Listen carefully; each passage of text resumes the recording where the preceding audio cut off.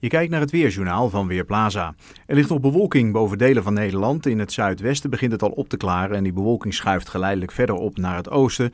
En betekent ook dat de opklaringen terrein winnen. Vanavond breekt eh, de bewolking op steeds meer plaatsen, maar met het dalen van de temperatuur kan het al wel wat nevelig worden.